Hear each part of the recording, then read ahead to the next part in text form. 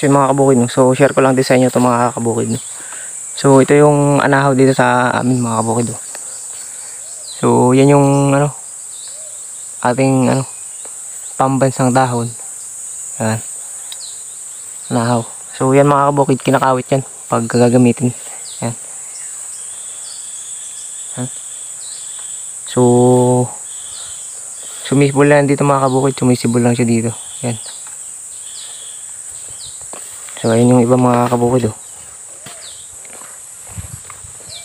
Yan. So, yung iba medyo mataas na mga kabukid.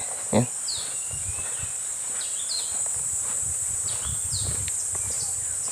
So, nakahalo lang siya sa niyog. Kasi hindi naman siya masyadong sagabal kasi ano siya, kung mapapansin nyo tuwid lang siya. Yan. Yan mga kabukid, oh. So, dito sa amin, ano yan, ginagawang pambubong. Ayan mga kabukid. oh. So ganito siya pag maliit pa. Ayan. So yan na mismo yung ano, pinambububong mga kabukid. Yung dahon yan. Ayan. So yan yung katawan niya mga kabukid. oh. So may mga tinik-tinik siya. So matibay na pambubong yan mga kabukid. So yan ang ating pambansang dahon mga kabukid. No? So yan, maliliit pa. So ito yung iba mga kabukid. No?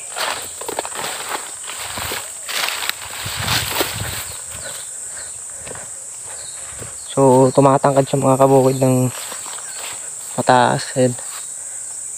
Ayan o. So ano siya, parang niyog din. Ito yung iba mga kabukid. Oh.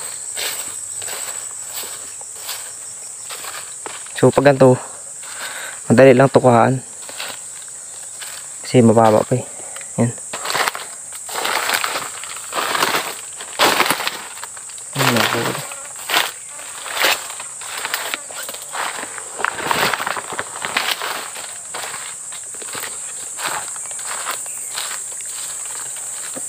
So pag gantong ano na mga kabukid to kasi nyo mataas na tong isa na to.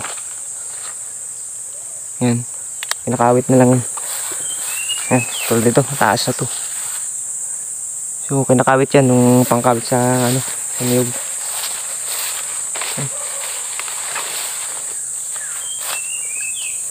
So, yun lang mga kabukid. So, maraming salamat.